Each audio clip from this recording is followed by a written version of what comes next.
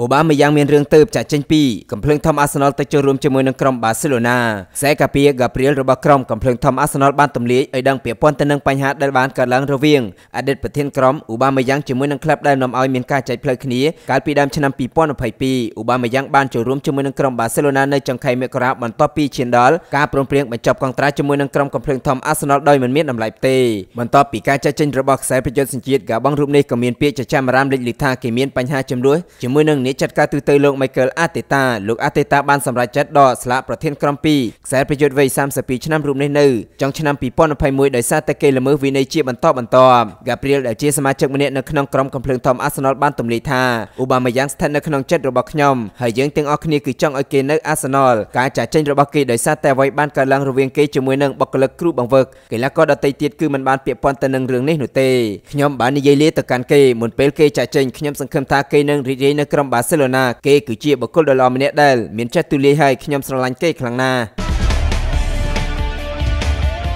តារា WWE នឹងផ្ដួលរ៉ូណាល់ដូត្រឹមតែ5វិនាទីតែប៉ុណ្ណោះអ្នកកីឡាករដ៏ល្បីប្រចាំសាយវៀន WWE និងជាអ្នកគ្រប់គ្រងដ៏ងប់ងល់របស់ក្រុមហង្សក្រហម Liverpool គឺ Simus បាននិយាយឌីដងទៅកាន់ Cristiano Ronaldo ថាបើសិនជាខ្សែប្រយុទ្ធឆ្នាំរូបនេះហ៊ានឡើងសាយវៀន WWE នោះគាត់នឹងមិនអោយឆ្លងផុតលើសពី5វិនាទីឡើយជាការពិតណាស់នៅក្នុងរដូវកាលនេះ Ronaldo បានសម្រេចចិត្តចាក់ចេញពីក្រុម Juventus មកចូលរួមជាមួយនឹងក្រុម Manchester United ជាលើកទី2យ៉ាងណាមិញការឈានជើងដល់ទឹកដីអង់គ្លេសជាថ្មីសម្រាប់ខ្សែប្រយុទ្ធសញ្ជាតិ Portugal កាលហាក់បង្ហាញទម្រង់លេងពុំសូវបានល្អប៉ុន្មាននោះឡើយដែលជាហេតុធ្វើឲ្យគាត់ទទួលបានពាក្យរិះគន់ពីមជ្ឈដ្ឋានខាងក្រៅជាខ្លាំងនៅពេលដែលក្រុមការងាររបស់កាសែត BT Sport បានសួរថាតើ Ronaldo ល្អឥតខ្ចោះនៅក្នុងការឡើងសាយវៀន WWE ដែរឬក៏អត់ស៊ីមូក៏បានឆ្លើយតបវិញយ៉ាងដូចនេះថាគាត់នឹងមិនឲ្យឆ្លងផុតលើសពី5វិនាទីឡើយគាត់គឺទុនខ្សោយខ្លាំងណាស់ មេដឹកនាំរបស់កូរ៉េខាងជើងគឺជាអ្នកគ្រប់គ្រងរបស់ក្រុមបិសាចក្រហមមេដឹកនាំកូរ៉េខាងជើងនឹងជាមេដឹកនាំផ្ដាច់ការលោកគីមចុងអ៊ុនបានបង្ហើបឲ្យដឹងថាគាត់គឺជាអ្នកគ្រប់គ្រងដ៏ធំរបស់ក្រុមបិសាចក្រហម Manchester United នៃក្របខ័ណ្ឌ English Premier League ជាស្ដេចនេះបើយើងតាមការឲ្យដឹងពីលោក Antonio Rossi ដែលជាអតីតសមាជិកប្រសិទ្ធភាពអ៊ីតាលីដែលបានអះអាងថាមេដឹកនាំផ្ដាច់ការកូរ៉េខាងជើងរូបនេះគឺបានប្រាប់ទៅកាន់លោកអំឡុងការសន្ទនាឯកជនមួយជំវិញការគ្រប់គ្រងរបស់គាត់នៅឯក្លឹប Manchester United មិនតែប៉ុណ្ណោះវាត្រូវបានគេជឿជាក់ថាលោកគីមគឺជាអ្នកគ្រប់គ្រងម្នាក់របស់ក្រុមបិសាចក្រហមអស់រយៈពេលជាយូរណាស់មកហើយខណៈដែលរបាយការណ៍ពីមុនពីមុនក៏បានបង្ហាញផងដែរថាគាត់គឺជាអ្នកគ្រប់គ្រងរបស់អតីតខ្សែប្រយុទ្ធជំរឿជាតិអង់គ្លេស Wayne Rooney ទៀតផងលើពីនេះទៅទៀតបើយើងទៅតាមរបាយការណ៍ចុះផ្សាយមួយនៅក្នុងឆ្នាំ2014បានអះអាងថាមេដឹកនាំផ្ដាច់ការកូរ៉េខាងជើងរូបនេះគឺបានទាមទារឲ្យទូរទស្សន៍រដ្ឋនៅក្នុងប្រទេសរបស់លោកចាក់ផ្សាយការប្រកួតរបស់ក្រុម Manchester United ថែមទៀតផង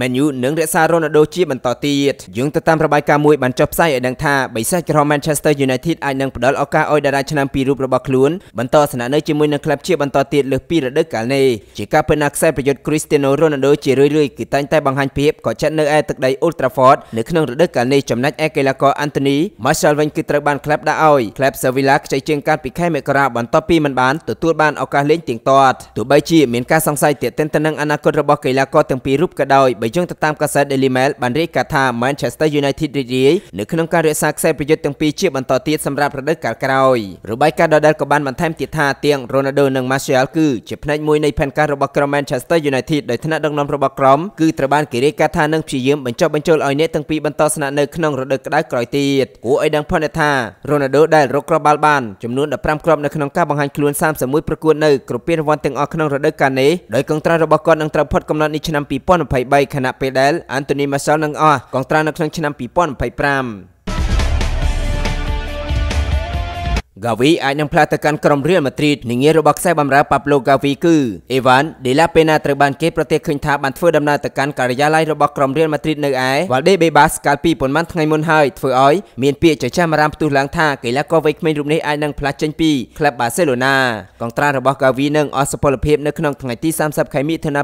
2023ទើបក្លឹបបាសេឡូណាបានព្យាយាមចចាមបន្តកងត្រាថ្មីដើម្បីចងជើងតារាឆ្នាំវ័យក្មេងរូបនេះក៏ប៉ុន្តែពុំទាន់មានការរីកាមួយណាបានបញ្ជាក់ថាហ្គាវីបានយល់ព្រមបន្តបន្តកងត្រាទៀតនោះទេ Gavi ដែលត្រូវបានអតីតគ្រូបង្វឹករបស់ក្រុម Barcelona គឺលោក Ronald Koeman អនុញ្ញាតឲ្យឡើងមកលេងនៅក្នុងឈុតធំក្រោយលោក Xavi Hernandez ចូលមកដឹកនាំគឺនៅតែទទួលបានទំនុកចិត្តពីគ្រូបង្វឹកនិងបង្ហាញខ្លួនឲ្យក្រុម Barcelona ចំនួន29ប្រកួតនៅក្នុងរដូវកាលនេះយ៉ាងណាមិញភ្នាក់ងាររបស់ Gavi គឺលោក De La Pena ទំនងជាទៅការិយាល័យរបស់ Real Madrid ដើម្បីចរចារឿងកងត្រារបស់ខ្សែបម្រើ Maxu Calon ដែលលេងនៅក្រុមឈុត B របស់ក្រុម Real Madrid តែប៉ុណ្ណោះគួរឲ្យដឹងផុនថាខ្សែបម្រើ Pablo Gavi គឺបានបដិសេធមិនលេងឲ្យក្រុម Real Madrid នឹងជ្រើសរើសលេងឲ្យក្រុម Barcelona ដូចគ្នានិងមិត្តរួមក្រុមរបស់គេគឺ Nico Gonzalez ដែលសសឹងតែជាយុវជនឆ្នាំចេញពី La Masia ទាំងអស់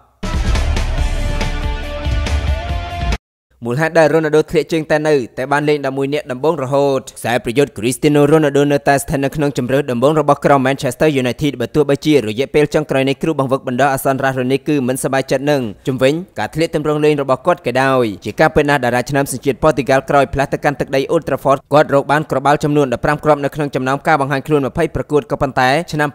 2022នេះគឺគេធ្លាក់ទម្រង់លេងដ៏គួរឲ្យកត់សម្គាល់ตัวយ៉ាងចំនួនការបង្ហាញខ្លួន10ប្រកួតចុងក្រោយរកបានត្រឹមតែមួយគ្រាប់តែប៉ុណ្ណោះមួយរយៈចុងក្រោយនេះគេសង្កេតឃើញថាការអត់ធ្មត់របស់រ៉ាស់រ៉ានីកចំពោះរ៉ូណាល់ដូហាក់បីដូចជាខៃទៅខៃទៅជាមួយគ្នានេះផងដែរបើយើងទៅតាមការអះអាងរបស់កាសែត Manchester Evening News បានឲ្យដឹងថាខ្សែប្រយុទ្ធម្ចាស់អាវលេខ7ប្រហែលជានឹងត្រូវដល់ចេញពីជម្រើសដំបូងតាំងពីយូរណាស់មកហើយប្រសិនបើគ្រូបង្វឹកសជាតិអាល្លឺម៉ង់មានជម្រើសខ្សែប្រយុទ្ធច្រើនជាងនេះគួរឲ្យដឹងផងថា Edison Cavani តែងតែមានបញ្ហារបួសជារឿយៗដោយគាត់ពុំសូវបានបង្ហាញខ្លួនជាប់លាប់នោះទេជាក់ស្ដែងការប្រកួតរបស់ក្រុម Man U 32ប្រកួតចុងក្រោយគឺគាត់ខកខានការប្រកួតចំនួន20លើកទាំងហើយដោយឡែក Marcus Rashford វិញគឺបានធ្លាក់ទម្រង់លេងជាខ្លាំងដោយមួយរយៈចុងក្រោយនេះគឺគាត់លេងត្រឹមតែជាកីឡាករបំរុងតែប៉ុណ្ណោះ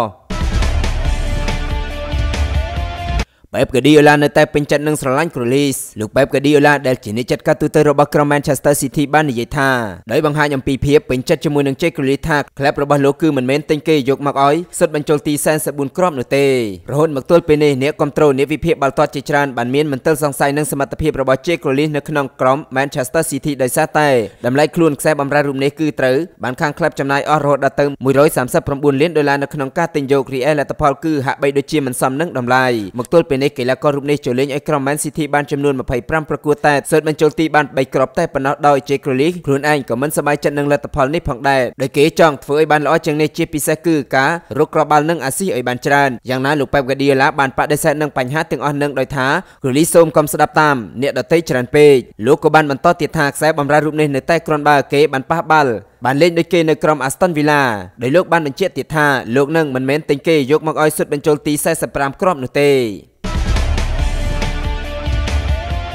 Chelsea រកនេះជំនួសគេប៉ាហើយក្លឹបតៅខី Chelsea កំពុងសម្លឹងមើលឃើញកីឡាករគោលដៅធំរបស់ក្រុម Manchester United ដើម្បីយកមកជំនួសតំណែងរបស់គេប៉ានៅក្នុងរដូវក្តៅខាងមុខនេះជាស្ដែងបើយើងទៅតាមប្រភពសារព័ត៌មាន Team Talk បានចុះផ្សាយថាក្លឹបអង់គ្លេសទាំងពីរសតែចង់បានអ្នកចាំទីថ្មីម្នាក់នៅមុនពេលចាប់ផ្ដើមរដូវកាលថ្មីហើយកីឡាករ Sam Johnstone របស់ក្រុម West Bromwich Albion កំពុងតែជាគោលដៅដ៏ធំបំផុតរបស់ពួកគេពេលណាអនាគតរបស់គេប៉ានៅលើទឹកដី Stamford Bridge បច្ចុប្បន្នហាក់បីដូចជាមិនមានភាពច្បាស់លាស់នោះទេស្របពេលដែលអ្នកចាំទីសញ្ជាតិអេស្ប៉ាញរូបនេះបានចូលរួមជាមួយនឹងក្រុមតៅខី Chelsea នៅក្នុងតម្លៃបំបីកំណត់ត្រារបស់ក្លឹបរហូតដល់ទៅ72លានផោនពីក្រុម Bilbao កាលពីឆ្នាំ2018តែទោះយ៉ាងណាក៏ដោយចាប់តាំងពីការមកដល់របស់ Mendy នាចាំទីសញ្ជាតិអេស្ប៉ាញរូបនេះគឺមិនទទួលបានឱកាសលេងច្រើនដូចមុនទៀតឡើយខណៈបើយើងទៅតាមប្រភពខាងលើបានបង្ហើបឲ្យដឹងថាគេប៉ាគឺមានបំណងចាច់ចេញពីក្រុមតៅខី Chelsea ដើម្បីស្វែងរកឱកាសលេងនៅក្នុងជម្រើសដំបូងដោយឡែកជំវិញបញ្ហាមួយនេះក្រុមតៅខី Chelsea ក៏បានត្រៀមខ្លួនរួចជាស្រេចហើយផងដែរដើម្បីនាំយកកីឡាករ Sam Johnstone ដើម្បីមកជំនួសវិញដោយក្លឹបអាចធ្វើការផ្ទេរដោយគ្មានតម្លៃខ្លួននៅចុងបញ្ចប់នៃរដូវកាលនេះហើយនៅពេលដែលកិច្ចសន្យារបស់គេនៅឯក្រុម West Brom នឹងត្រូវបានផុតកំណត់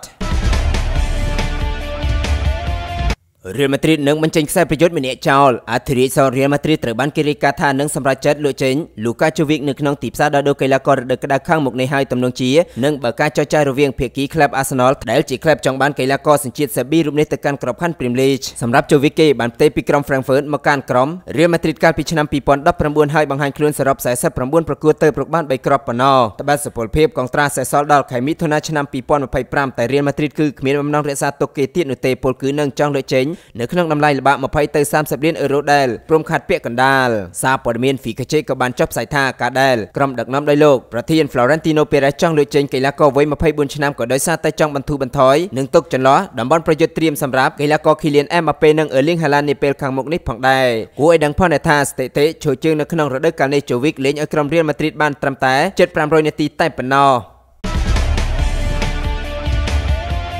ម្នាក់ទៀតហើយលាលែងតំណែងពីគ្រូបង្វឹករបស់ក្លឹបរុស្ស៊ីលោក Marko Kidal បានលាលែងពីតំណែងជាគ្រូបង្គោលរបស់ក្លឹបលោកកូម៉ូស្គូក្រោយដឹកនាំក្លឹបនេះបានត្រឹមតែ5ខែចាប់តាំងពីខែតុលាមកគ្រូបង្គោលសញ្ជាតិអាល្លឺម៉ង់រូបនេះបានចេញសារថាខ្ញុំមិនអាចទៅដឹកនាំក្លឹបដែលមានអ្នកដឹកនាំប្រទេសបានបង្កសង្គ្រាមនៅកណ្ដាលទ្វីបអឺរ៉ុបបែបនេះនោះទេនេះគឺវាមិនសមនឹងតម្លៃរបស់ខ្ញុំនៅទីនេះតទៅទៀតឡើយអញ្ចឹងបានជាខ្ញុំសូមលាលែងពីតំណែងជាគ្រូបង្គោលក្លឹបលោកកូម៉ូស្គូភ្លាមតែម្ដងខ្ញុំមិនបន្តឈរនៅលើទីលានហ្វឹកហាត់ដែលបង្វឹកកីឡាករឲ្យមានភាពជាលក្ខណៈកាន់តែអាជីពខណៈដែលអ្នកនៅក្បែរកន្លែងនេះគឺបានធ្វើឲ្យមនុស្សជាច្រើនរងនៅសោកនាដកម្មដ៏ឈឺចាប់បំផុតគួរឲ្យដឹងផងថាចាប់តាំងពីរុស្ស៊ីបានចូលវាយអ៊ុយក្រែនចាប់តាំងពីថ្ងៃប្រហោះទី24ខែកុម្ភៈឆ្នាំ2022មកស្ថាប័នបាល់ទាត់ធំៗនៅអឺរ៉ុបអំពាវនាវឲ្យបញ្ចប់សង្គ្រាមមួយនេះដោយបានធ្វើការផ្ដាច់កងត្រាជាមួយនឹងក្រុមហ៊ុនរុស្ស៊ីជាក់ស្ដែង FIFA និង UEFA សម្រាប់ផ្អាកការប្រកួតទាំងអស់របស់ក្លឹបនិងជម្រើសជាតិរុស្ស៊ីតែម្ដង